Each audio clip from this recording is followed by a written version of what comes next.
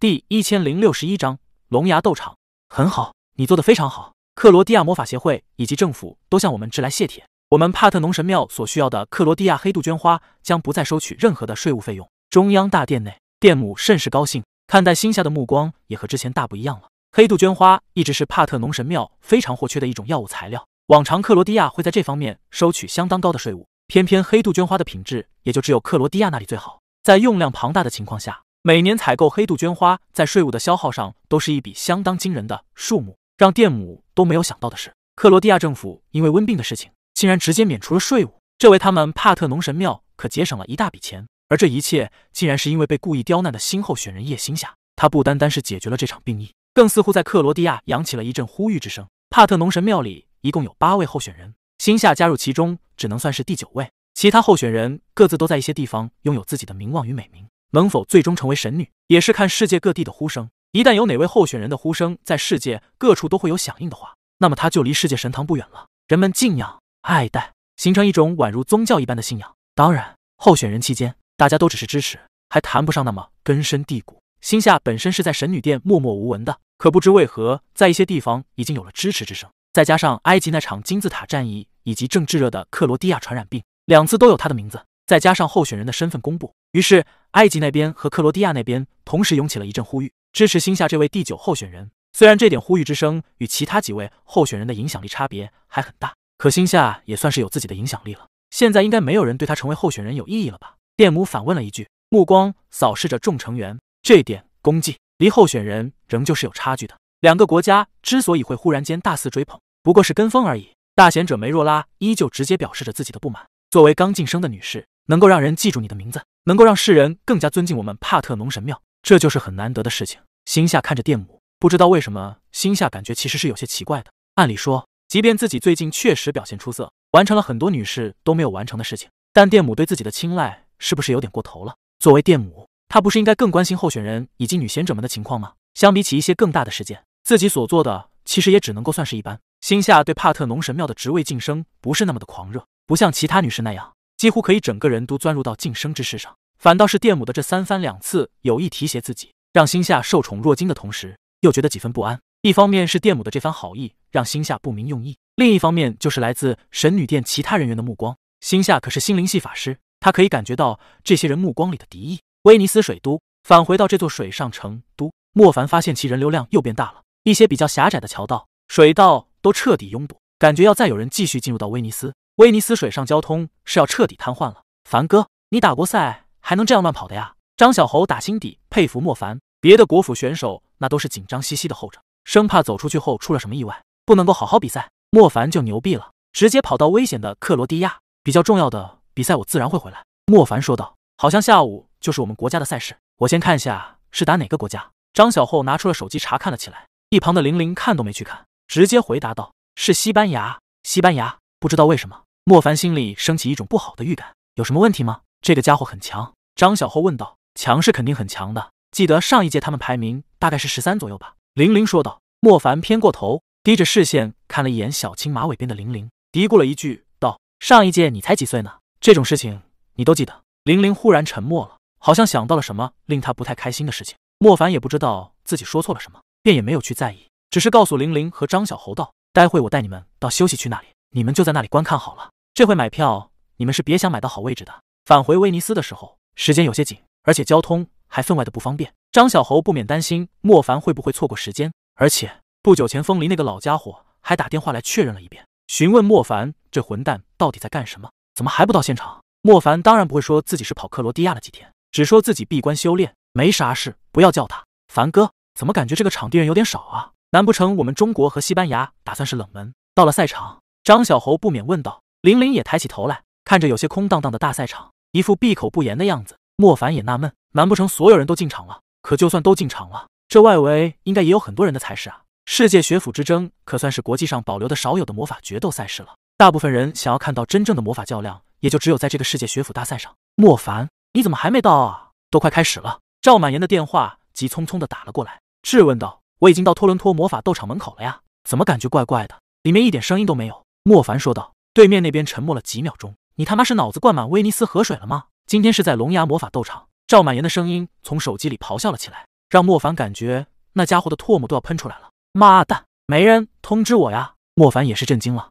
风离估计都要把你开除国府队了。你发给定位给我，我飞过去接你。赵满言说道。哦哦，我再往你那个方向去，我们半路回合。莫凡说道。莫凡与玲玲、张小猴交代了一句，也不理会威尼斯的城市规定，直接以暗绝斗篷在水道上疾行。看着匆匆忙忙赶场的莫凡，玲玲和张小猴都是一脸看智障的表情，目送莫凡远去。我们国家国府收了凡哥这样的学员，真是得操碎了心。我们还是得买票。玲玲满不高兴的吐了一句：“龙牙魔法斗场是威尼斯最古老的魔法斗场之一了。这个斗场并非是临时布置场景的，而是一直以来都宛如一片岩林那般耸立着一根根宛如龙之獠牙的石峰。石峰高度不一，有些铺在离地面大概只有几米的高度，看上去像是一座座假山凌乱的摆放着，组成岩笋迷宫。有些石峰就相当高了，长达三四十米，堪比威尼斯许多高楼。”矗立在街区的稍上方，这次的战斗场地也就在这里。排排龙牙石，这次看来是土系法师能够占大便宜了。选手休息区里，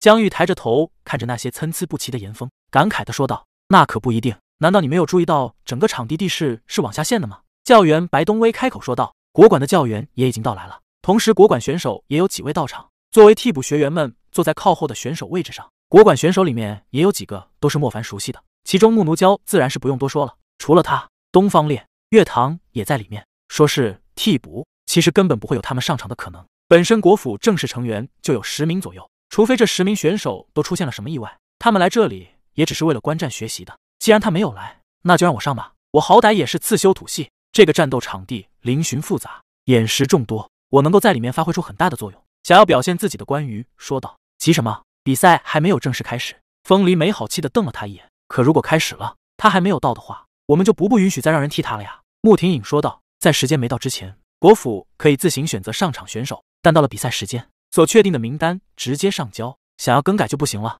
而迟迟没有上场的那个人，也将被判定为弃权。你们说的那家伙，不会是已经躲起来了吧？这是一个胆小如鼠的家伙，在我们西班牙法师里，就绝没有这种避而不战的懦夫。斑波王子的声音传了出来，言语里丝毫不掩饰对莫凡的讽刺。不过，在意识到身边就是穆宁雪。斑驳王子又急忙表现出一副彬彬有礼的模样，解释道：“穆宁雪小姐，我可不是针对你和你的队伍，我只是针对那个对我相当无礼却落荒而逃的人。我希望在今天能够跟他有一个了结。却不料他不顾团队荣耀，这样令人失望的潜逃。”斑驳王子在那里喋喋不休。穆宁雪纯当他是空气。莫凡这人，穆宁雪又不是不了解，别说是修理了一个王子了，暴揍了一位国王，他都照样吃，照样睡。第一千零六十二章一掷千金。这已经不是斑波第一次前来纠缠了，仗着自己身份高贵特殊，竟然直接跑到中国这边的休息区。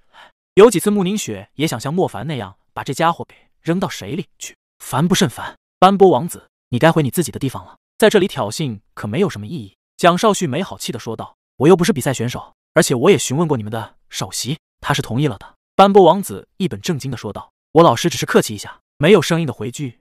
你是你自己厚着脸皮跑进来，你代表的是西班牙。”今天我们与你们交战，你跑来这里，难不成是要偷听我们的阵容不成？江玉也没好脾气的说道。江玉已经把莫凡看成是朋友了，这个斑波摆明了是来这里勾搭穆宁雪的，妻朋友之妻，江玉可不能忍。在中国，虽然早就没有王室了，可要论社会地位的话，他们这些人其实也不比这什么西班牙王室王子差到哪里去。所以，除了穆廷颖这种女人会真的把斑波王子当一回事之外，其他人压根就没怎么鸟他。说实话，听见他在那里各种没完没了的叨叨。江玉觉得莫凡把他这臭皮家伙扔到水里是对的。这位朋友，你这话又是什么意思？我们大西班牙还有必要窥视你们的阵容和战术？别忘了，在上一届我们可是斩获了世界学府大赛的第十三名，而你们早早就被淘汰。斑波也不高兴了，毫不客气的还击江玉道：“妈的，别提上一届，上一届你们要遇到美国队伍，也得滚回自己国家去。”江玉有些跳脚，恼怒的道：“江玉，你这是怎么回事？我教你的东西你都忘了吗？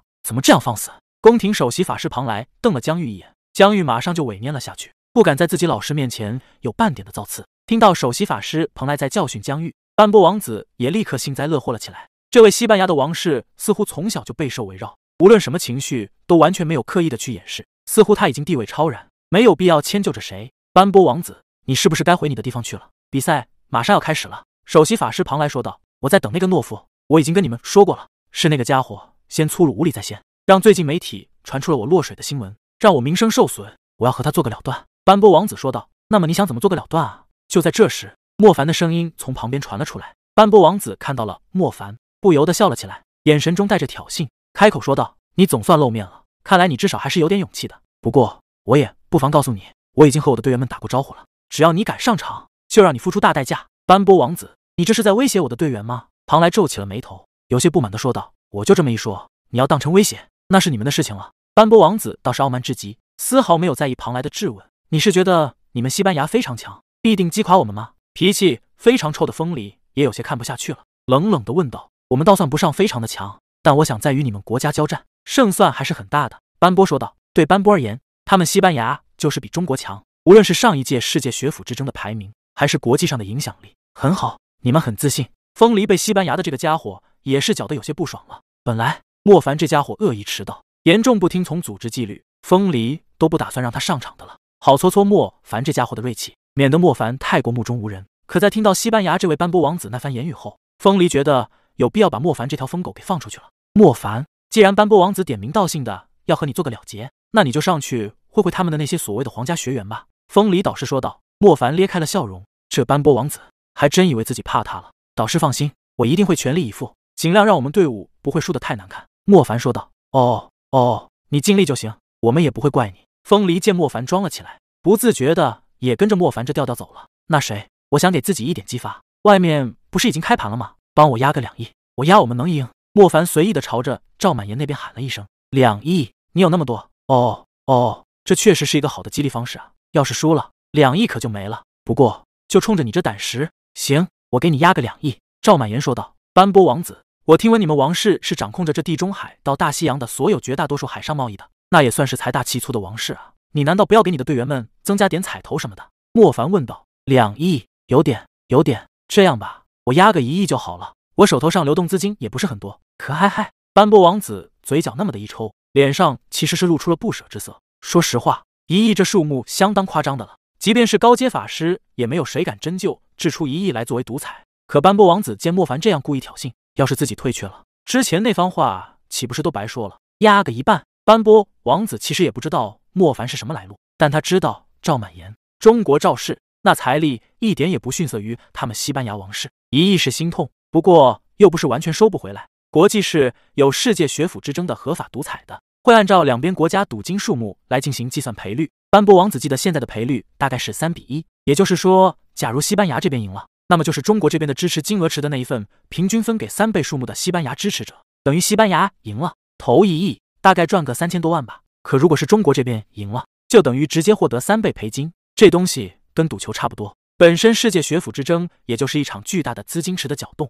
国际上已经有合理的赌赛系统，比率是按照大家的投钱金额来调配的，公平的很。所以往往黑马获胜，那投黑马钱的那些人会大赚。而那些原本跟风赚小钱的人就得亏本。说实话，莫凡手上其实一毛钱都没有，他七拼八凑弄出来的八亿已经被阿莎蕊雅那个俏臀女人给全部夺走了。他跟赵满言那么一喊，就是喊着玩的。赵满言也算是聪明，没有当场说穿自己是一个穷光蛋，而是马上配合自己演戏，然后一起坑这个斑驳王子。可惜这个斑驳王子人虽然很目中无人、狂妄自大，倒也不是完全的傻叉，直接跟自己两亿下去，能坑一亿是一亿了。好，一亿就一亿吧。看来你对自己西班牙队伍的信心，其实就是嘴上那么一说罢了。你挑衅也挑衅够了，还待在这里干什么？回你自己的场地去，别在这里让我看得碍眼。”莫凡说道。斑驳王子脸色铁青，说实话，他是真不能一口气拿出一亿在这种赌彩上败。王室的钱也不是捡来的。看着斑驳离开，莫凡不由一阵好笑。这斑驳王子其实还是挺没脑子的，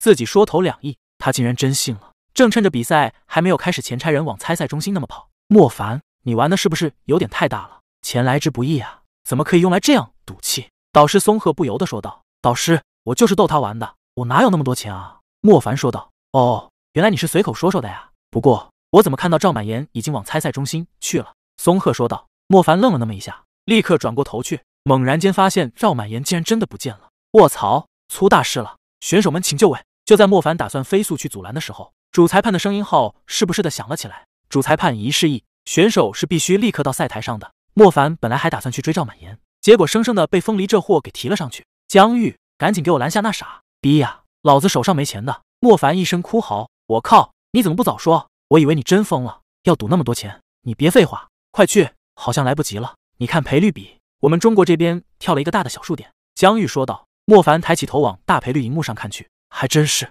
赔率比变化了。虽然这是全球参赛，其金额总数是相当惊人的，可两亿也是大数目啊！真的跳了小数点，小数点是那么跳了一下，可莫凡的心脏就跳个没完，要爆炸了。猪吗？赵满言是猪吗？想他大莫凡一生都在坑别人，却未想到会被这头猪给坑了。两个亿，真敢下得去手。要是输了，直接玩完。第一千零六十三章水下巨玄。可听好了，把那家伙打个半身不遂就行了。多的不要，免得某些有心之人故意说我是非。斑驳王子低声对西班牙选手弗朗说道：“弗朗虽然是生长在西班牙王室，但并没有王室的血统，只不过是养子。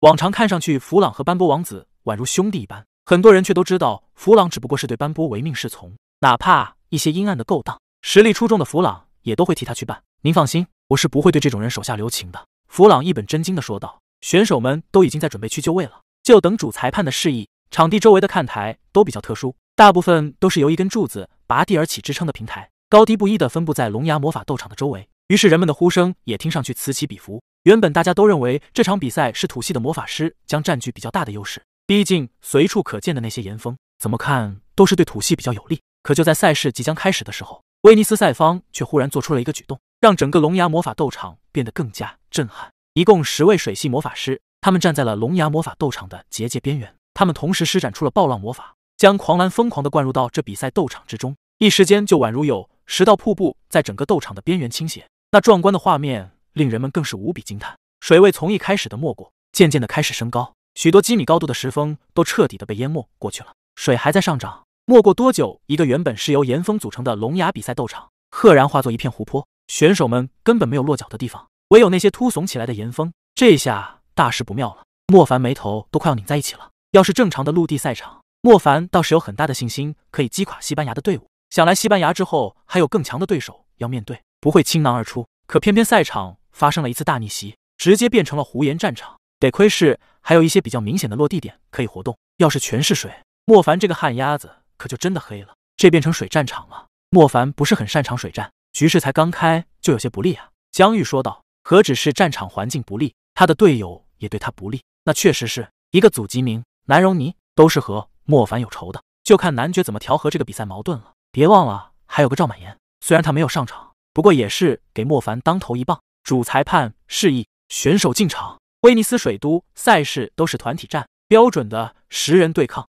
中国国府这边上场的五个人分别是莫凡、男爵、蒋少旭、南荣尼、祖吉明。用之前队员们的话来形容配置的话，那就是四个辅助一个炮台。莫凡也不知道风离那老头究竟是如何搭配的。本身男爵蒋少旭这两人就属于进攻性不是很强的法师，再加上祖吉明和南荣尼这两个人，简直是全队的毁灭魔法都压在了莫凡一个人的身上。而西班牙那边也不知道为什么，莫凡总觉得他们会占了大便宜。在整个龙牙斗场被灌入了变成湖泊的时候，他们脸上似乎带着若有若无的笑容。西班牙是海国，他们法师里面应该也有不少都是擅长水系的，即便不是水系法师，也懂得怎么了利用水来战斗。我们庆幸算不上乐观。男爵开口说道。全力以赴就好了，蒋少旭说道。莫凡，你看到那个蓝色卷头发的人了吗？男爵说道。看到了，怎么了？莫凡问道。那说弗朗，西班牙王室中实力最强的一个，他听命斑驳王子的，所以你自己多留意一下那家伙。好，主裁判一声高宣，这场中国与西班牙的魔法之争也算是正式开始了。西班牙那边果然都是比较熟悉水性的，应该至少有三个人都修了水系。如此茫茫的一湖水，可以令他们的水系魔法更加碎心应手。耸立的岩峰可算是莫凡唯一的欣慰了。可西班牙这些人也是分外阴险，他们似乎断定中国队伍这边修炼水系魔法的人并不多，于是一开始就搅动风云，卷起了一场又一场的滔滔之浪，尽可能多的摧毁掉整个龙牙湖泊斗场中的岩峰。看到可以让自己落脚的岩峰正在倒塌断裂，正沉入到湖水里，男爵立刻就有些焦急了起来。他们这个队伍核心可以说是莫凡了，要是莫凡这个旱鸭子没有落脚之地，这局比赛就等于是输了。不能让他们这样摧毁龙牙石，阻止他们！男爵高声说道。怎么阻止？他们又不是攻击我们，而是攻击那些石头，这都能阻止的话，祖基明说道。这般孙子不给我留活路，那就别怪我不客气。莫凡也是气恼，眼下自己有两亿的负债在身，胸中悲愤之余，也燃起了无可奈何的斗志。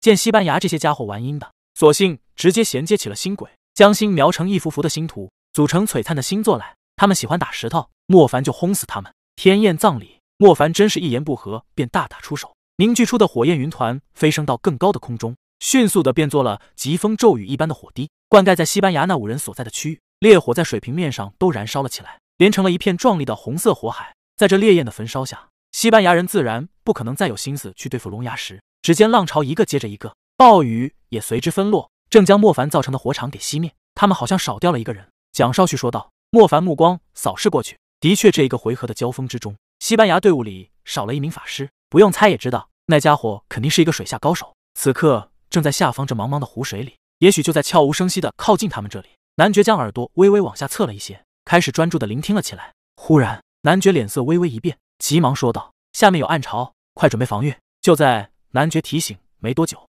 下方的水流变得异常了起来。先是从比较深的水开始搅动，渐渐的带动了水面上这一层。没过多久，一个水下漩涡便映了出来，看上去就像是有一只湖中巨兽正张开那深渊之口，蛰伏在他们五个人的下方。潮水搅动得越来越剧烈，一些较为脆弱的龙牙石也纷纷断裂，被融到了激流当中。莫凡目光往下追去，模糊中见到了整个漩涡激流中心有一个人影，他舞动着双手在水下作乱。很显然，这并非是一个大漩涡那么简单，而是水之吞噬。整个水之深口还在慢慢的往上升，将他们五个人全部吞咽进去。他们应该是。想要打散我们，不能让他们得逞。”蒋少旭说道。“你们想办法，我的魔法起不到作用。”祖基明说道。男爵此时已经闭紧了双眼，他的短发在涌上来的狂风和水雾中变得凌乱。嗡！一股强烈的音波忽的往翻动旋转的水浪中穿透过去，魔音带着空间的震颤，与那湍急的漩涡撞在一起的时候，可以看到整个水之漩涡出现了诡异的扭曲。紧接着，磅礴的水旋崩散，就看到满天的水花溅了起来，扑打到几十米的高度。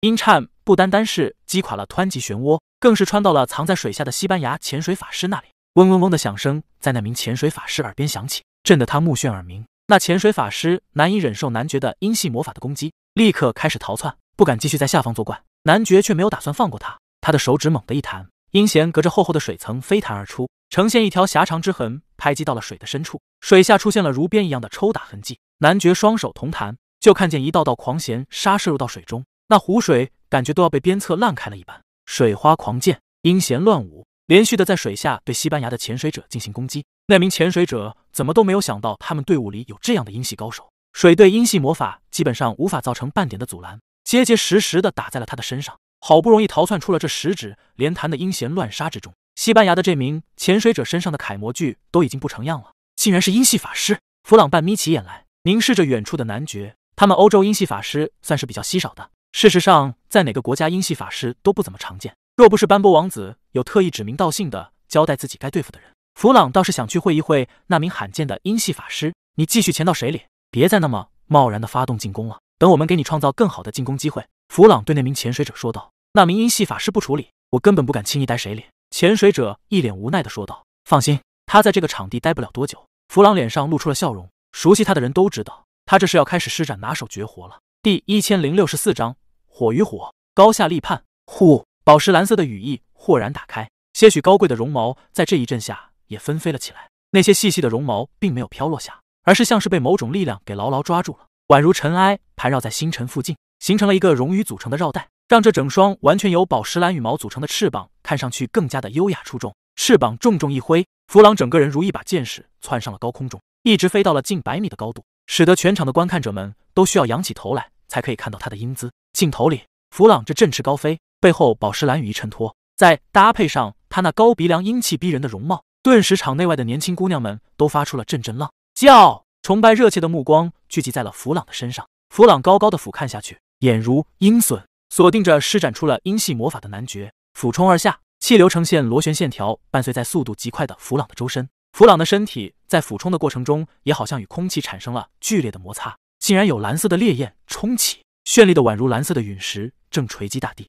也是火系的。莫凡有些意外，抬着头看着弗朗，云火越来越近。在高空中的时候还没觉得什么，等快要坠到他们面前的时候，才知道这是一个多么庞大的火雨，带给人一种窒息的气场。我来，莫凡知道这是自己的对手，索性也不做任何的闪躲。炎，莫凡高喊一声，全身火焰气场豁然炸开，嫣红的眉眼与褐红的睫颜同时窜起，交织成了冲飞而起的火柱。跟我来硬的，真是找死！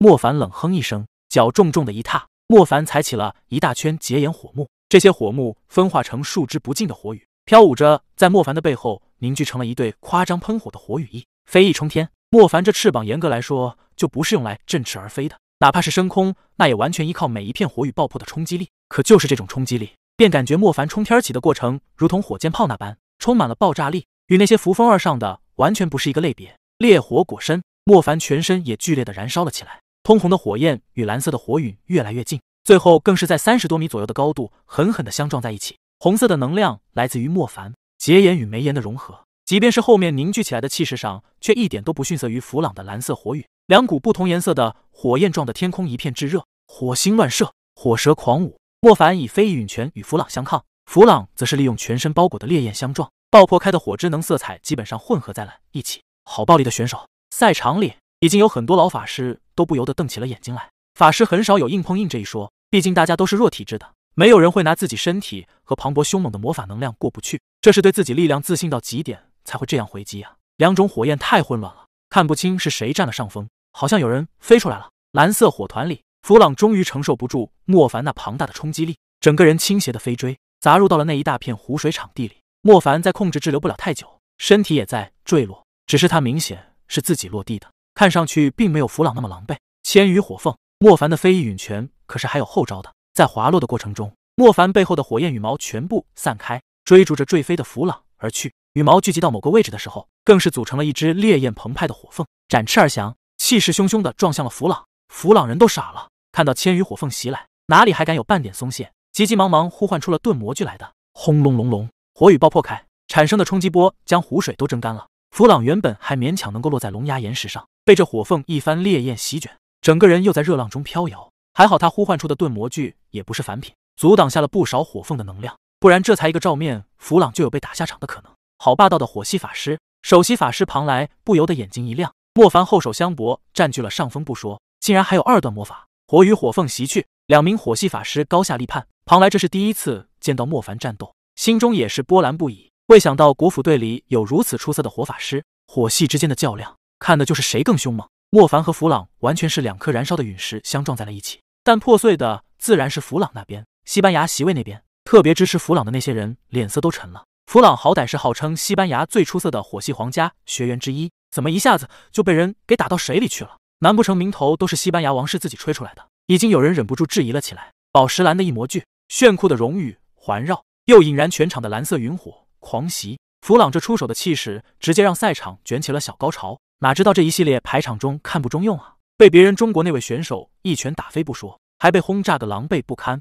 之前那些尖叫欢呼的姑娘们，这会一个个就跟被嘿嘿嘿刚来感觉却没有后文的玉女，别提心情有多糟糕了。一只浅浅颜色的精灵蝶盘旋在水面上，随着弗朗刚刚从水里爬出来，这精灵蝶立刻飞落到他身上的那些灼伤伤口处，为他治愈。弗朗看了一眼离自己有一小段距离的队员佩利斯，脸上别提有多尴尬了。佩利斯是弗朗喜欢的女孩，也是队伍里的治愈系法师。弗朗本来还想大显身手，结果却是这般狼狈样子。弗朗，别轻敌。佩利斯表现的比较镇定，嘱咐了弗朗一句。弗朗点了点头，目光死死的盯着莫凡。弗朗此刻有些恼怒之余，心里其实还带着很深的疑惑。自己的蓝火分明是魂级火种，即便是没有领域的火系威力，也要比灵种强了不知多少啊！对方身上的火焰分明就是灵种之焰，凭什么他可以与自己这样硬碰硬，还占据绝对的上风？难不成火焰也可以伪装的？弗朗当然不会知道，莫凡的火焰真正威力并非来自于眉岩。而是小炎姬那霸道无比的结岩，结岩藏于眉岩之中。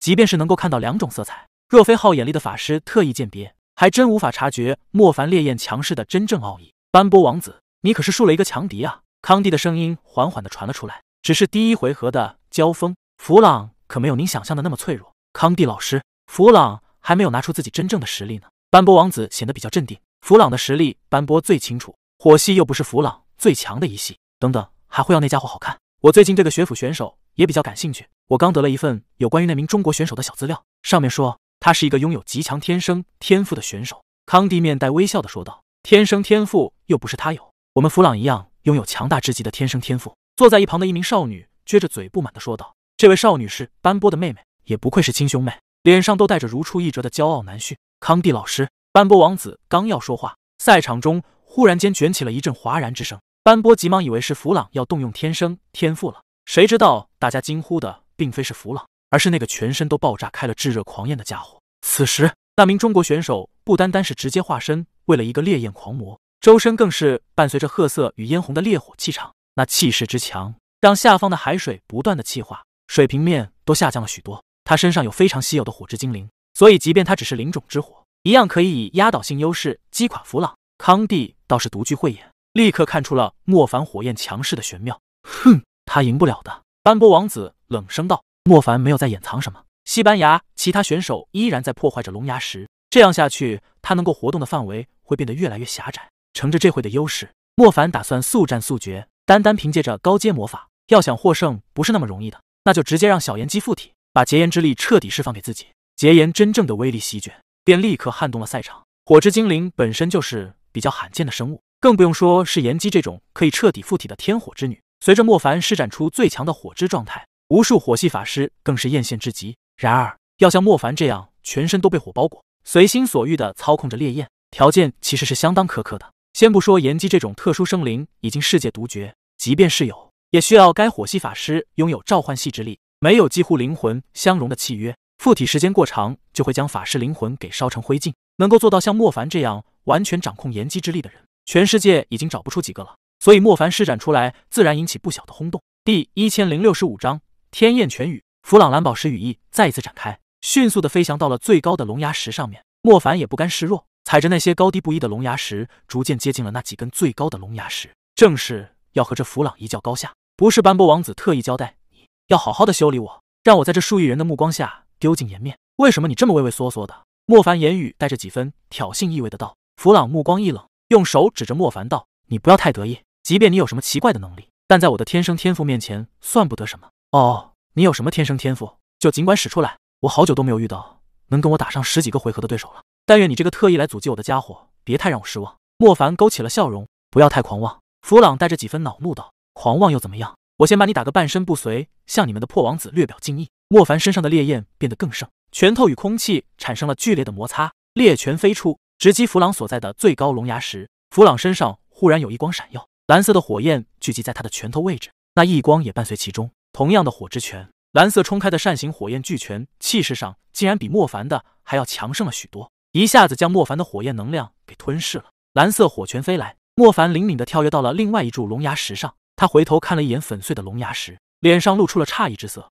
你不是很狂吗？这次敢不敢与我再硬碰硬一次？弗朗身上那奇怪的异光又亮了起来，天焰葬礼之火座在逐渐凝聚。弗朗并没有将天焰葬礼化作漫天骤雨洒落，而是凝聚在了他的右手手腕上。看到对方将天焰葬礼凝聚全上，莫凡索性也不退，让自己周身飞舞的火蛇全部收纳到手腕之中。天焰全雨，弗朗大喊一声，诡异的异光与蓝色之火交织在一起，火拳飞袭。更是变作了密密麻麻的拳焰之舞，又如四狂的火拳骤雨呼啸的往莫凡这里打来。拳如雨，焰成木。弗朗这将天焰葬礼与猎拳结合在一起的魔法技能，一下子震惊了赛场。人们瞪大眼睛望着一个个火拳纷纷砸落，壮观而又充满可怕的毁灭气息。莫凡抬起头，发现自己已经被火焰拳雨给包围了，闪躲是毫无意义。这家伙的天生天赋，莫非就是融合？莫凡心中也是诧异，把天焰葬礼和猎拳结合在一起。这可不是正常火系法师可以做到的。毕竟星图是星图，星座是星座，魔法与魔法之间有着非常严明的等级制度。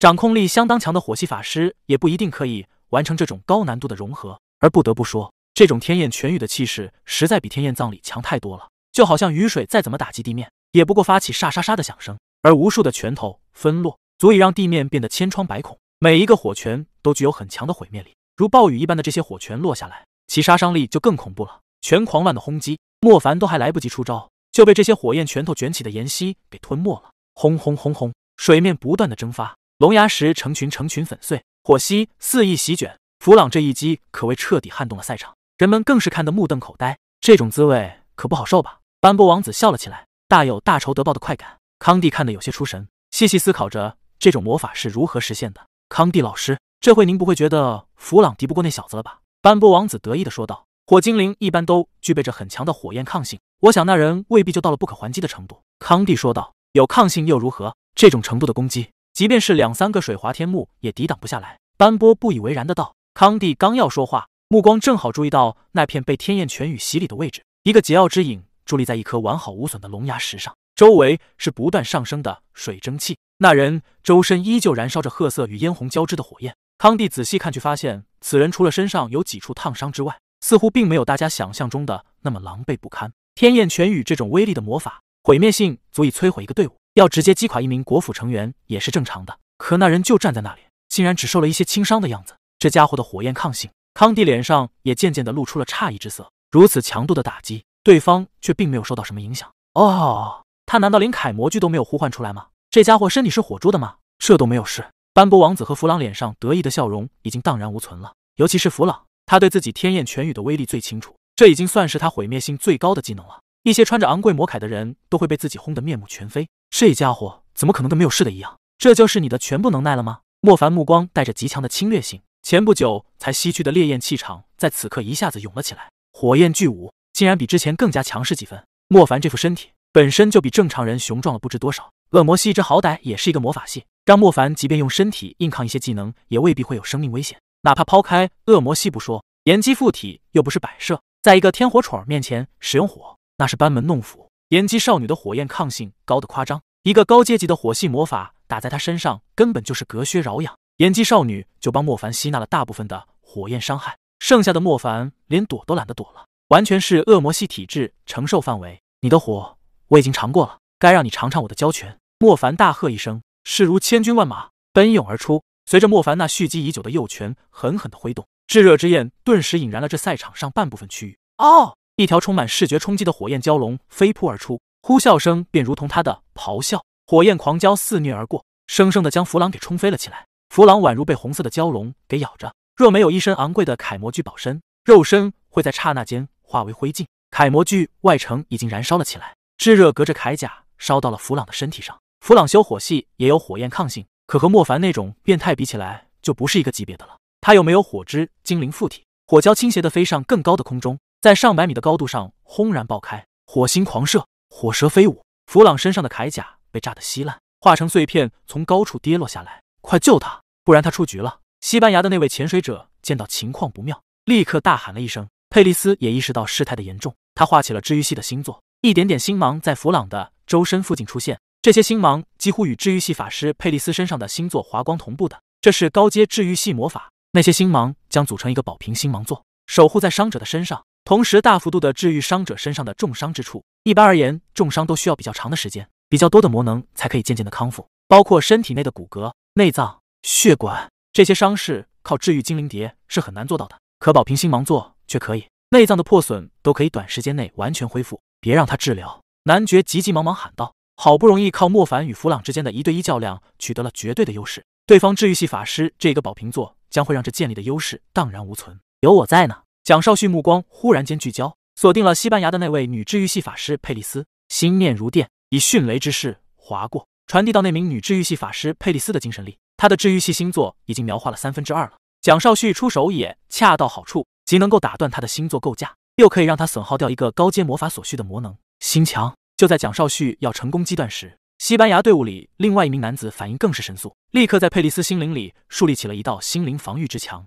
将蒋少旭的心灵之机阻隔在外。不好，他们也有心灵系法师！蒋少旭脸色一变，宝瓶即将形成，蔚蓝色绚丽的光辉组成了一个神圣的庇佑，渐渐的将弗朗给保护了进去。莫凡看到那蓝色的光辉，冷哼了一声，目光有银色的迥异光辉在闪，还想治愈？给老子过来！莫凡虚空一爪，隔着一百多米的距离，将即将落地的弗朗给牢牢的抓住。宝瓶几乎要完全构架成的那一刻，莫凡重重的一扯，将弗朗狠狠的甩了出去，砸向了更远处的一颗厚重龙牙石石峰上。治愈宝瓶座是有施法距离的，一旦出了这个距离，自然不可能守护到。莫凡自己就有一个治愈高手妹妹，哪里会不知道高阶治愈系魔法的利弊？这一隔空拍苍蝇，使得治愈宝瓶座滞留在最远端，却无法再追随受伤的弗朗了。第一千零六十六章浩劫水啸。莫凡这一手是真的阴，连对方那位治愈系法师佩利斯都愣了好半天。莫凡其实早就有所准备了，在之前佩利斯使用治愈精灵蝶的时候，莫凡就意识到，若是不多留一手的话，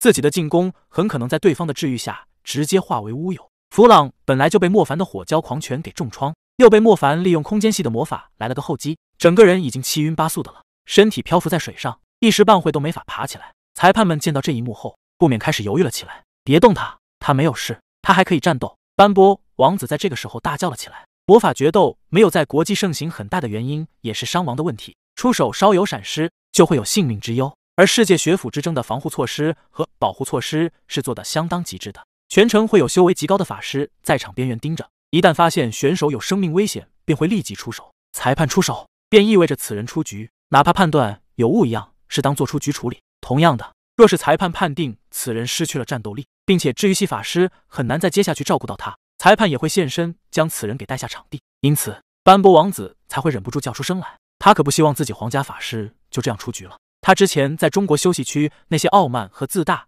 就得全部化成重重的耳光，火辣辣的打在他的脸颊上。莫凡，那个潜水者在往弗朗靠近，他想把弗朗救走。男爵的声音传了过来，目光将注意力放在了水下，仔仔细细的看了一番，还真发现水下有异常的波动。看来那位潜水者就在下面了，还想救走？莫凡笑了起来，隔空取物，直接用意念将快要昏迷过去的弗朗给从水里抓了起来。那潜水者就差那么一点点，便可以从水下将弗朗给带走。只要带回到队伍身边，这种伤用不了多久就可以恢复。哪知道对方反应这么快！裁判接好，莫凡也不下过重的手。本身自己和这弗朗又没有什么仇怨，将他打成这副模样，已经是很给斑驳王子难堪了。事情都到了这种地步，裁判们自然不可能在那里看着了。可以说，只要莫凡稍稍在空间意念上施加一点力量，这弗朗就有生命危险。两位助理裁判迅速出现，将弗朗给抬下了龙牙斗场。一名选手下场，不同的声音在高度不一的观望席上响起了。西班牙皇家法师弗朗在欧洲可是小有名气的。假如他是在团体战中被人群攻导致失败，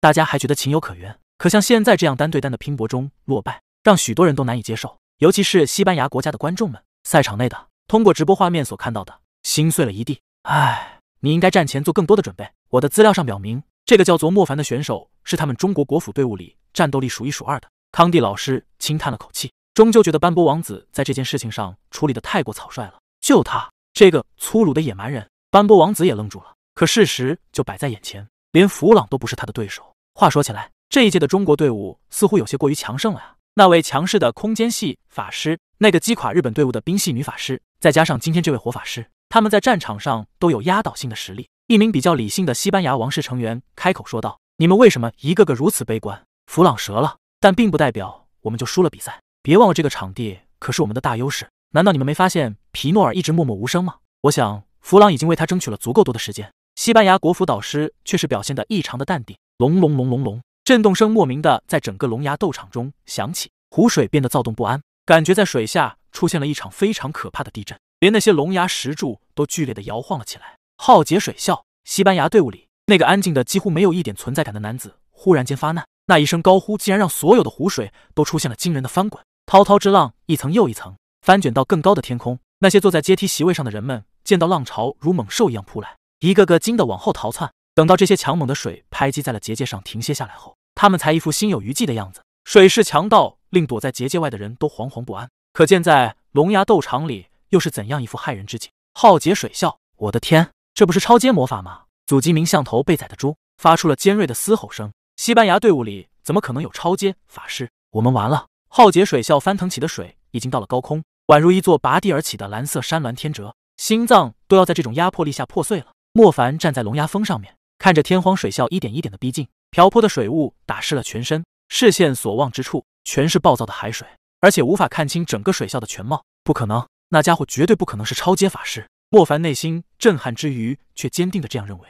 在古都的时候，莫凡是亲眼目睹过一个真正的浩劫水啸。那将数千只亡灵直接吞没的气势，与如今在龙牙斗场的这浩劫水啸有着巨大的差异。可是魔法形态来判断，这分明是一个超阶水系之法，威力迎着这场浩劫水啸，莫凡在那份压迫中，终于发现了不同之处。若是真正的超阶水系之力，此刻站在如此近的位置，莫凡已然被打得骨骼尽碎了，怎么可能还能像现在这样安然无恙？总之，莫凡是怎么都不会相信这种世界学府之争中会跳出一个超阶法师来。对方能够施展出类似于超阶魔法的技能，里面就一定有什么玄机。轰轰轰轰，浩劫水啸震耳欲聋，那些脆弱的龙牙石尽数断裂，随着汹涌无比的天浪一起翻滚着。水啸吞没了大半个斗场，更将中国国府队伍的五个人也全部给吞没了进去。暴躁的水浪在斗场内翻滚着，即便拍打到了最边缘的结界，仍旧没有停歇的意思。斗场内只有水，夸张的如同一片汪洋中的海水倾倒下来。中国国府人员已经不知被拍打到了哪里。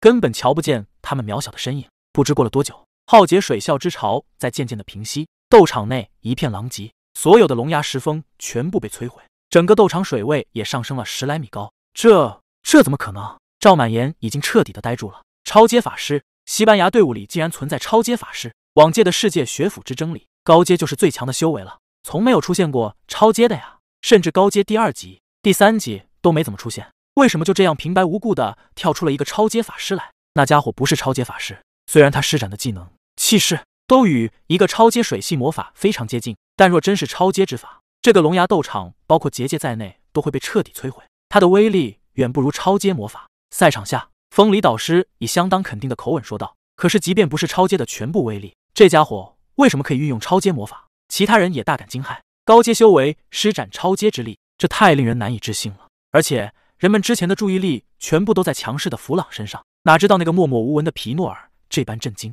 不出手则已，一出手几乎令中国国府队伍全军覆没。难道这才是西班牙国府队伍的王牌？我想，这多半和他的天生天赋有关。他施法之后，身体轻盈，脸色发白，看来他付出的代价也不小。风离目光犀利的说道：“谁有这天生天赋？不是天下无敌了吗？”场地内，中国国府人员都已经有些不知去向了，多半是伴随着那可怕的海啸，被深深的拍入到了水底深处。中国选手蒋少旭失去比赛资格，中国选手祖吉明失去比赛资格。两名助理裁判的声音同时响起。便看见浑身湿漉漉的蒋少旭和祖吉明分别被从水里给捞了出来，被救到了场地之外，开始救治。两人在这浩劫水啸下直接昏死过去了。这下不妙了，我们两名选手瞬间折损，其他人呢？其他人没有事吧？中国休息区里，大家顿时乱成一团，谁都没有想到会是这样的一个情况。无论那浩劫水啸究竟是不是超阶魔法，其始终是让中国国府队伍人员面临了巨大的困境。哗啦，乱石积水中。一个浑身湿漉的身影从水底跃了出来，一块断裂的石峰莫名的从水中升起，漂浮在水面上。而那个水中窜起来的人也恰巧落在了这块断石上，身子牢牢稳固着，身上热焰涌动，身上的水瞬间化为了白色的气体，被莫凡的高温给彻底蒸发。莫凡身体立刻恢复了干爽，但受到海啸的拍打重锤，他的胸骨、手肘、腰部的骨骼全部都受损了，还能够像现在这样挺立着。完全是凭借着恶魔系的体质。第一千零六十七章岩剑斩敌。莫凡的判断并没有错，那不是真正的浩劫水啸，其威力相差很大。可即便如此，这个技能的毁灭性也是他们这些高阶法师们难以承受的。哪怕这只是浩劫水啸威力的一两成，一样将自己全身重创。深呼吸一口气，莫凡可以感觉到自己的筋骨传来一阵剧痛。这种情况下，他很难像往常那样灵敏了，甚至在衔接复杂的星座的时候。也会因为伤势而受到影响。看来国府队伍终究是国府队伍，纵然不是每个人都强的逆天，可仍旧会有那么几个妖孽级的存在，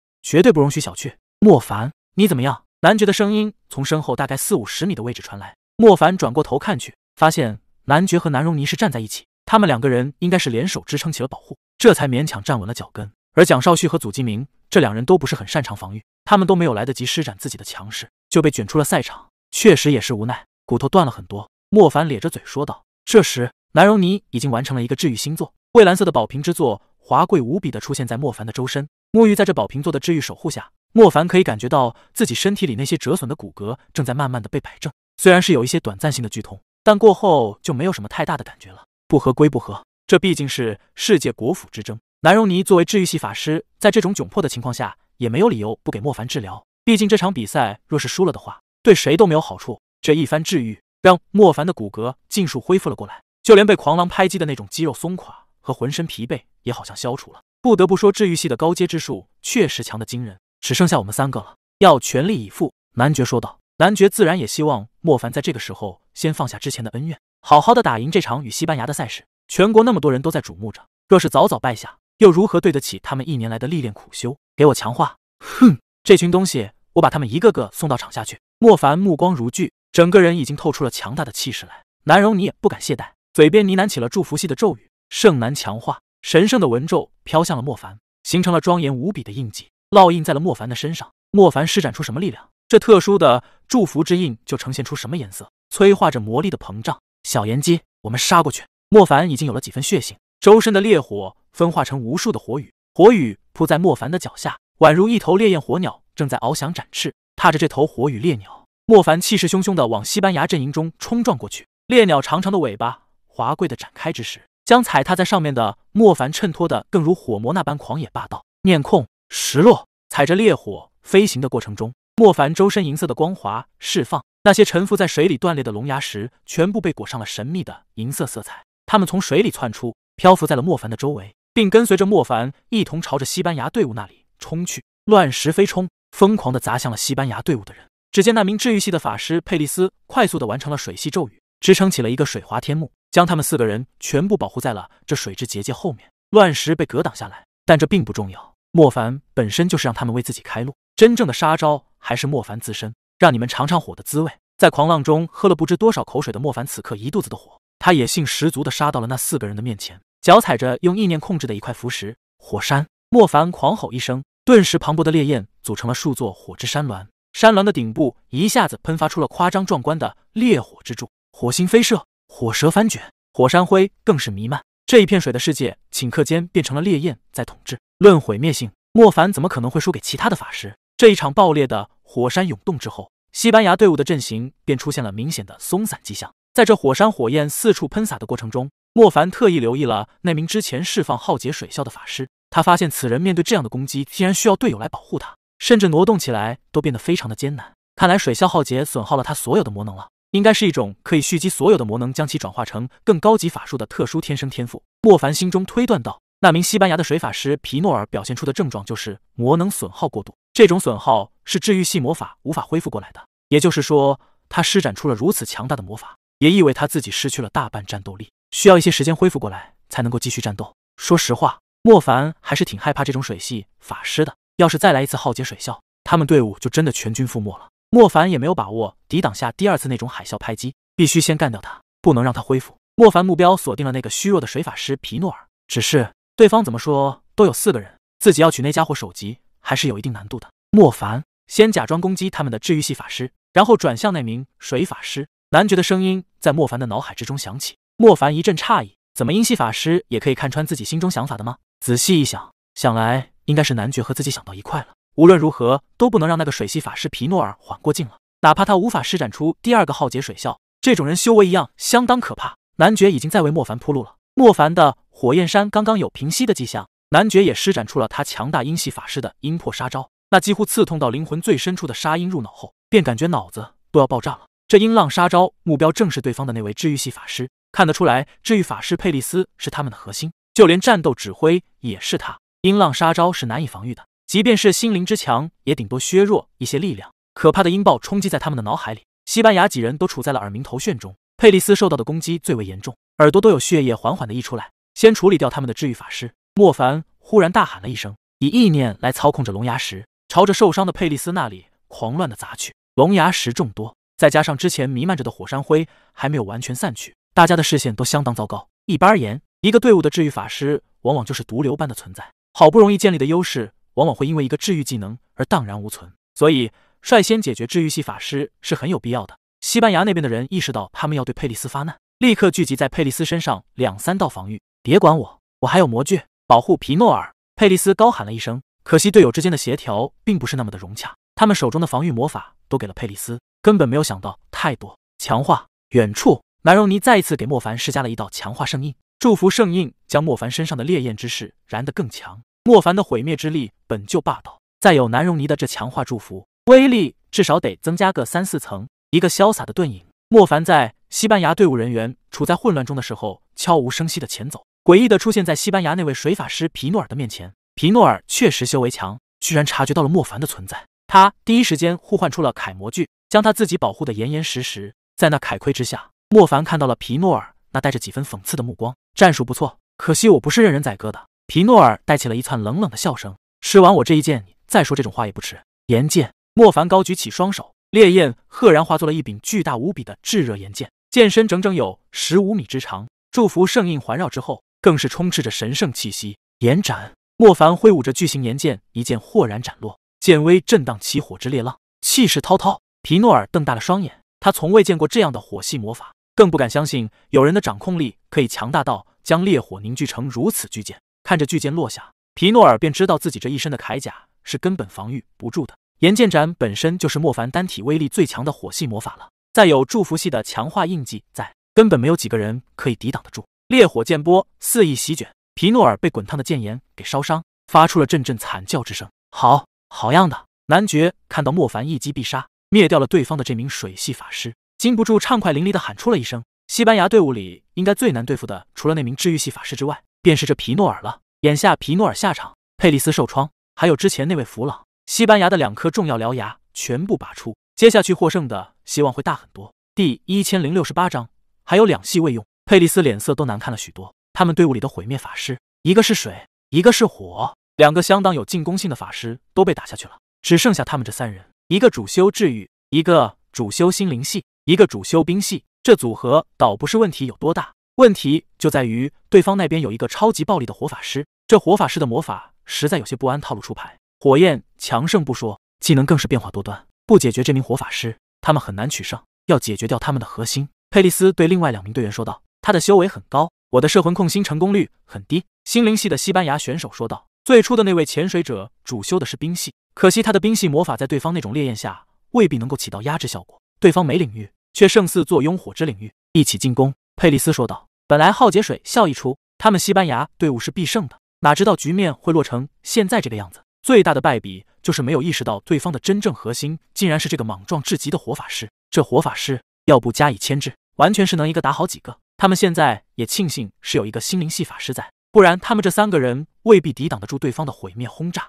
南荣尼，直接给我治愈，我和他们硬来。莫凡指挥了起来。莫凡知道这女人是很在意世人目光的，要换做平常，这女人不给自己一口毒奶，毒死自己都算是他心怀慈悲了，怎么可能好好的魔法治愈？南荣尼果然识相听话，念起了治愈系的高阶之法。一个新的蔚蓝色宝瓶做治愈，渐渐的在莫凡的周身勾描。看到有这一层魔法保障后，莫凡简直跟疯子一样，一头栽入到了对方三人之中。身体一落，火环就炸起。明明身上没有什么防御魔法，可西班牙的这三人的攻击却好像根本奈何不了他。好不容易在上面留下了一些伤痕，结果宝瓶做一亮，莫凡这头壮如牛的法师马上就康复了。西班牙三人脸颊都在抽搐了，这家伙未免也太狂妄了，直接冲过来一打三。即便他们不是毁灭型法师。可一些高阶魔法同样具备很强的杀伤力，他难道就不考虑会被他们三个人给轰杀的吗？佩利斯咬紧唇边，他们的战术本来就是三人围攻莫凡，谁知道他们还没有具体施行，对方就自己冲上来给他们围攻，绝对的有恃无恐。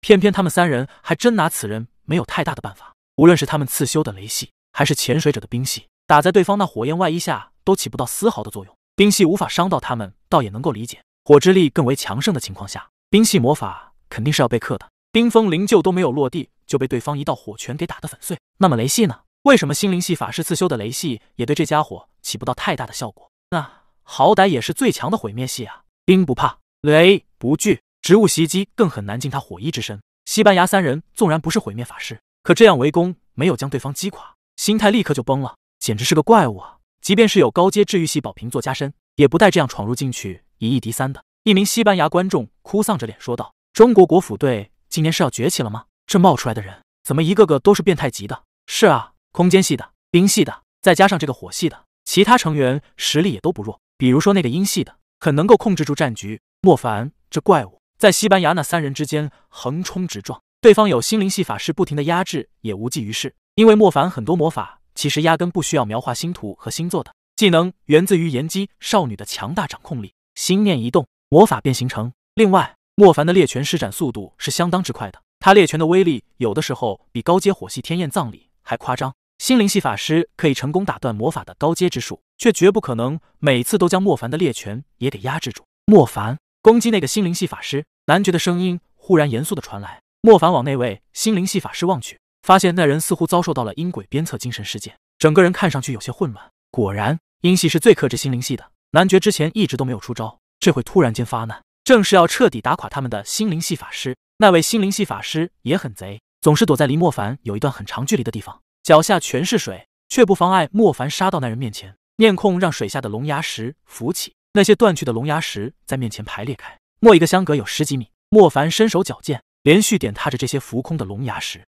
跨着这自己排开的阶梯，杀向了那名心灵系法师。西班牙另外两人心叫不好，想要去救援，身体却立刻被南荣尼的植物给缠住。耽误了最佳时间，滚下去吧！莫凡暴力一拳，九条狂舞的火焰蛟龙在半空中呼啸而过，将这名心灵系法师送到了结界的边缘处。火焰狂灼，助理裁判们见到这火焰，很有可能将心灵系法师烧成一堆骸骨，闪电出手将其救走。如此，西班牙队伍再折一人，中国国府休息区里，所有人脸上终于有了一丝丝的轻松。莫凡终究是莫凡啊，这次要没派这头疯狗上去，多半是要败的。不知道是谁感慨了这么一句，几位导师心同样松了下来。确实如此人说的，不是莫凡那以一敌三的爆炸实力，即便解决掉了那位水系法师皮诺尔，一切都是未知数啊。毕竟蒋少旭和祖基明两人是在还没有来得及发挥作用的情况下，被浩劫水校给打下场。这倒不是说他们两人实力如何，实在是浩劫水校强势过头了。换作是其他队伍，也多半要这在西班牙这边。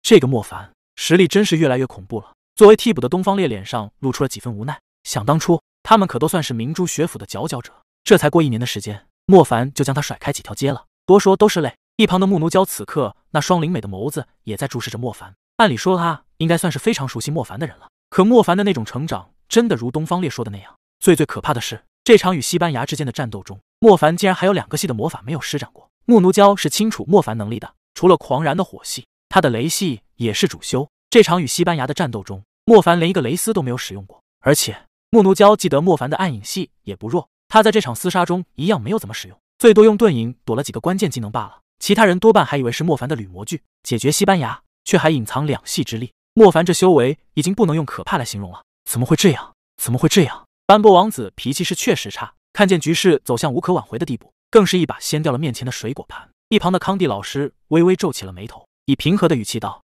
这里是公众场合，斑驳王子还是收敛点为妙。我想你要争强好胜之前，就应该多了解了解一下对手。把你抛到水里的这个人，实力确实很强很强啊！哥哥，你真的被人扔到河水里啊？我还以为是那些无聊的记者乱说的呢。”少女瞪起眼睛。带着些许惊呼道：“斑波王子脸色更加难看，他狠狠地瞪了一眼声音过大的妹妹。王子，我们钱输了。”斑波王子的侍从低声说道。斑波王子嘴角都抽了起来，这死事从真是哪壶不开提哪壶，迟点再提这件事会死吗？殿下，我们账户刚刚被扣除了一亿，请您以后不要再这么任性了好吗？即便您喜欢赌赛，花个几百万、一千两千万就好了，怎么会下了一亿的赌注呢？旁边那位财务总管脸上带着几分不悦道：“这位王室财务是这回才知道。”斑驳王子赌了一亿，一亿是小数目吗？当然不是。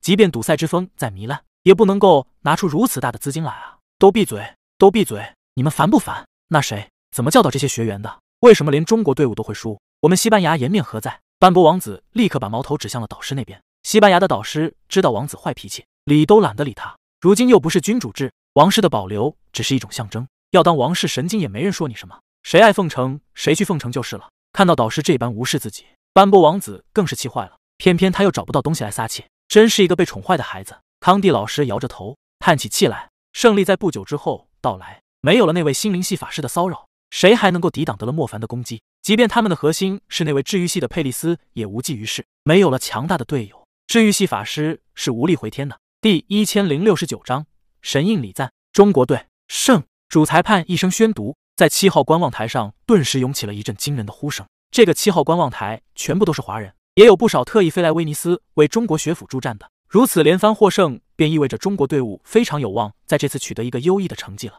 世界学府之争关系的东西相当多，单单是那让世界瞩目的名望，便可以让一些势力受用无穷了。更不用说国际上很多难以平均分配的资源，也都是由世界学府之争的排名来分配。这也是为什么国府在培养学员上一点都不会吝啬，本身奖赏给学员的东西都相当庞大。击败了西班牙。即便之后的赛事都输掉，那也至少保住了前十六名的位置。这和当年开局没多久就被淘汰的惨剧实在好出了不知多少。哈哈哈！我就知道你会赢的。赵满言走到莫凡面前，重重的拍了拍莫凡肩膀。本以为莫凡也会随之肆无忌惮的大笑起来，可赵满言很纳闷，为什么从莫凡的眼睛里看到了些许杀人之意？难不成自己做错了什么？细细回想起来，自己好像没做什么对不起莫凡的事情。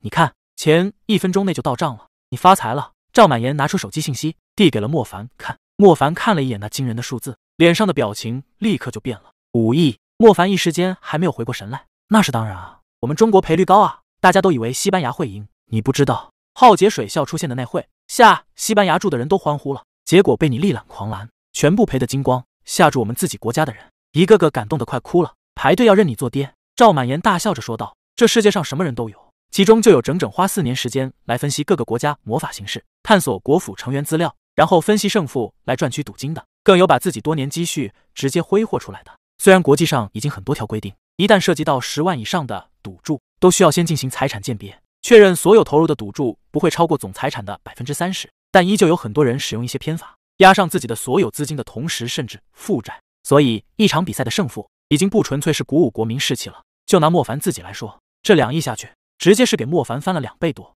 扣除掉许多严重的税收，也变成了五亿多，直接发了一笔横财。看到这么一大笔钱，莫凡自然和颜悦色了许多。话说回来，也就只有赵满言这种人可以下得了两亿的赌金，换作是其他富二代，估计就被赶出去了。这种赌金不是什么人都可以下的，嘿嘿，零头都可以保养一位超模了。看在我给你立了大功的情况下，零头送我呗。赵满言色心大开的道：“滚！你这蠢货，好歹我们也是多年的兄弟，你他妈我这眼神你都看不懂？你没看到这比赛有多悬？一个浩劫水啸，差点让我们全军覆没。莫凡得了大便宜归大便宜，心还是扑通直跳。这毕竟是一个团体对抗，一不小心出了意外，莫凡就变成负债两亿了。那时莫凡不知得多少次出生入死，才可以把钱给赚回来。毕竟不是什么时候都有上亿的大单子的。赵满言也是一脸委屈，帮了人赚大钱，居然还被臭骂了一顿。”怎么说他这个赵家大公子要把这么一大笔钱砸到赌池里，那也是需要冒被骂风险的。钱取出来还给赵满言两亿，看在这次赚了大钱的份上，莫凡也赏了赵满言这货包养超模的钱。至于想要平分赌金，想都别想。这要是输了，莫凡保证赵满言这贱人会让自己还那两亿的。所以这钱莫凡毫无情面的全收，纯当给自己压压惊。三亿到手，莫凡手头一下子又宽裕了起来，渐渐的心情也好了许多。当然，再看到斑驳王子那臭着脸的样子。莫凡歌儿都哼起来了，摆出了那副极其欠打的吊儿郎当样。今天之后，我们国府队伍应该会受到很多国家重视了。导师风离满脸严肃的说道：“比赛赢了，这家伙也不见得有点笑容，也真是一个怪人。好像这世上就没有能够让他满意的事情。那倒是，连胜这几场，往后我们遇到的对手也会更强了。现在我们大部分学员的戏和实力都暴露了，接下去一定要格外小心，哪怕是一个魔法系的搭配出错，都可能失败。”松鹤说道：“我们下一个对手还没有出现，大家好好休息吧。”首席法师庞来说道：“对了，今年的奖励还没有出来吗？往年不是开赛就会有了，为什么今年反倒迟迟不公布？”韩季想起了什么，不禁询问道：“第一名有了一些眉目了，学员将获得一次神印礼赞，仪式将由帕特农神庙亲自举行，在雅典神山之上。”首席法师庞来说道：“神印礼赞这么虚的东西，就没有实际的吗？比如说奖励个十几二十亿的？”莫凡不由得发问了。神印礼赞一听就知道是一种看上去很神圣高大上的礼仪。问题莫凡这人比较踏实。第一名的奖励最好就他妈是钱，魔法修行到处都花钱。莫凡还有那么多戏没有提升起来，怎么我说的有问题吗？莫凡很快发现大家用怪异的眼神看自己，不免反反问了一句：“你真的该多读点书？”穆宁雪再一次不食人间烟火的说道：“神印礼赞，这可是用钱都买不到的东西啊！”赵满言脸上的表情就相当夸张了，仿佛看到了比没穿衣服的女神更激动兴奋。神印礼赞是祝福系的神迹啊，获得礼赞的人将可以获得一次永恒的实力增幅，什么意思？莫凡还是不太懂，你该知道，我们所有魔法师从觉醒开始，魔法技能除却某些天生天赋、天生灵种魂种的人，威力都是一致的。我们所有魔法师最初觉醒的系，所以为威力基础可以看作是一，再加上我们每个人最初都是反种系，反种增强幅度为一，所以最终技能的威力只与技能等阶有关。但如果有了灵种、魂种，技能的威力才会随之上翻，灵种为二到三倍，魂种为四到六倍。韩季知道莫凡是一个糙汉子。于是耐心的给莫凡解释了起来。这个我知道，莫凡说道。神印礼赞也是增加魔法师的威力，但它并非是像灵种、魂种那样，类似于武器那般依附在魔法师的身上，而是直接增加魔法师自身威力，也就是将魔法师那个威力基础一变成一点五。韩季接着说道。莫凡张了张嘴，他这人读魔法书少，那也是有原因的，可不代表他脑子笨啊。在听到韩季这番数据化解释后，他脸上布满了震惊之色。一些天生天赋者。才有可能威力基础是比一更高，达到一点二、一点三左右。这种人所施展出来的技能，哪怕是凡种，都会强上几分。而假如有了灵种、魂种，他们得到的增幅更加恐怖。然而，这种威力增幅天生天赋的人少得可怜，并且基础威力是不会随修为时间有半点提升的。一开始是一，就永远都是一。要么是极少数的先天，唯一的后天增强方式，那就只有帕特农神庙的神迹神印礼赞了。韩季接着说道：“天生天赋威力增幅。”这种人，莫凡依稀记得有遇到，只不过这种人修为若是没提升起来，没有得到更强的灵种和魂种，与莫凡这种天生双系的比起来，还是要逊色许多。可莫凡本身就是有天生天赋者，若是再获得威力基础的礼赞，将基础从一变成一点五，这就意味着自己技能威力将会恐怖至极。一点五基础，像暴君荒雷这种接近六倍威力的魂种，便可以让莫凡施展出整整比普通人强出九倍威力的技能。九倍啊！六倍的雷系技能就已经有点让统领级生物都招架不住了。九倍威力释放出来，那岂不是连统领都可以轻易灭杀？随便释放个中阶魔法，其破坏力都跟高阶魔法差不多。莫凡是会强化出阶、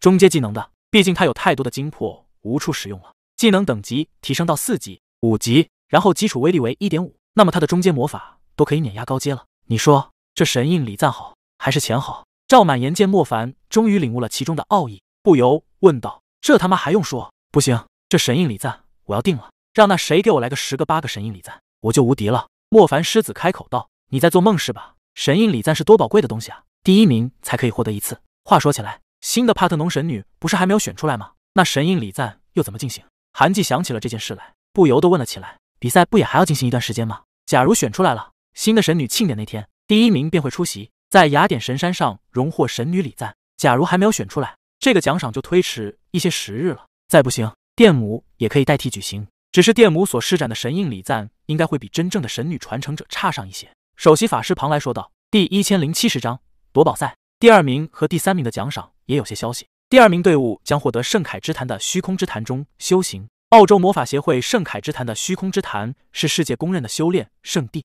在那里将迎来多少倍的修炼速度？”谁都无法完全估计，但据说高阶法师进入其中，踏出来，修为提升一个等级，那都是小事。很多高阶巅峰的魔法师，他们千金跪求一次虚空之坛，就为了冲破高阶枷锁，进入到超阶领域。数据表明，在澳洲虚空之坛中涅槃到超阶的比例是全世界最高的。圣凯之坛的虚空之坛修行一样是金钱不可替代的。第二名的奖励便是这个，相信获得第二名的队伍将一下子获得不少，未来有可能踏入超阶的法师苗子。第三名将嘉奖模具套装，绝大多数模具都是由不同的材料做出来的，而不同部件的模具也很难说是材质统一。当铝模具、盾模具、铠模具、斩模具、翼模具这五大模具形成一种统一的时候，模具与模具之间便宛如星轨、星图、星座那般，可以组成传导的法阵。法阵威力有多强，自然不需要再多说明。所以，模具套装若是能够雕刻进一个强大的法阵的话，就相当于让魔法师多了一个强大至极的技能。模具一整套的收集，那是相当耗费财力与精力的，也只有大的魔法协会才能够真正做到。所以这第三名的奖赏，想必也是由魔法协会支付的，一样是有钱都未必能够得到的超级奖励。对了，前三名才有奖励，那三名之后不是什么都没有吗？莫凡禁不住发问了起来。要拿到前三名，谈何容易啊！莫凡可并不觉得这个世界上变态就只有自己这么一个。回想起那个可以施展浩劫水啸的西班牙法师，要是他只针对自己。莫凡也不说有十足把握能够抵挡那种全身骨头都断掉的痛苦，他可没有那么快就忘记。之后的名次是没有实际奖励的，不过在每场比赛的进行过程中，资源池将陆续开放。庞来说道：“资源池，这又是什么东西？”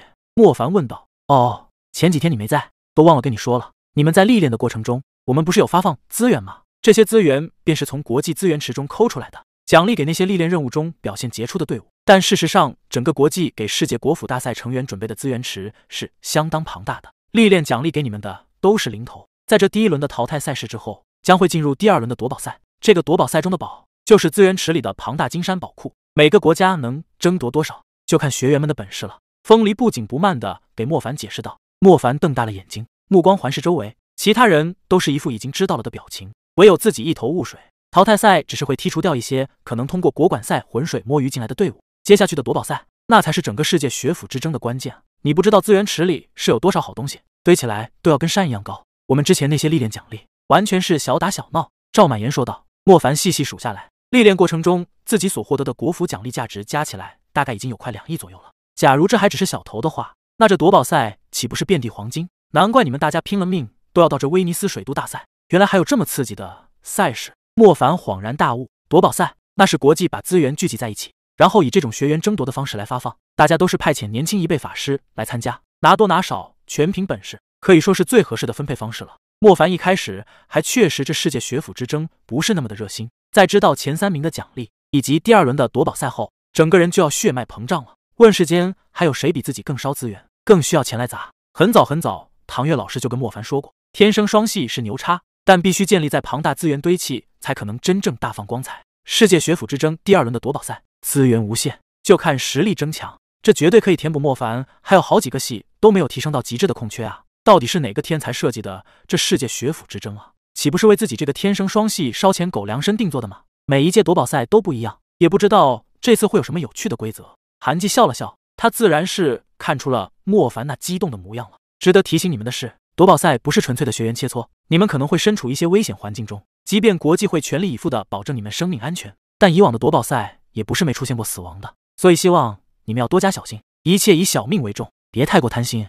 风离果然是一个古板的人，在大家讨论会有什么好东西的时候，他却给学员们浇了一大盆冷水。知道了，唉，往届是有一些小意外，不过也没那么夸张。每一届夺宝之地不同，还是小心为好。也不知道猎者联盟会选什么地方。淘汰赛中国队基本获胜，已经有了绝对进入第二轮夺宝赛赛的资格了。考虑到夺宝赛上将会更加刺激，也更加激烈，手头上刚刚获得了三亿资金的莫凡，希望对自己的实力再进行一次提升。这一次，莫凡将目标放在了自己的召唤系上。吉星狼真的卡在战将级进阶期有一万年了，他要是不进阶，就要被莫凡给雪藏了，最多只能够充当坐骑来用。和吉星狼也是多年感情，再加上吉星狼确实有一颗极其渴望变强的心。莫凡打算把这不义之财砸在吉星狼的身上。吉星狼血统的限制，假如没有外力相助，很难有更高的蜕变。正好威尼斯是一个应有尽有的魔法之都，莫凡想把吉星狼给强化起来。强化召唤兽还是三样必备的东西：兽魂、骨粉、血脉。吉星狼自身体格是已经到了极限了，莫凡得买更高级的骨粉，先让他的身体进入到一种极致状态，力量强大到小小的身体无法支撑的程度，内心就会无比渴望蜕变。这是绝大多数妖魔的进阶必经之路。骨粉这东西花的钱也不算多，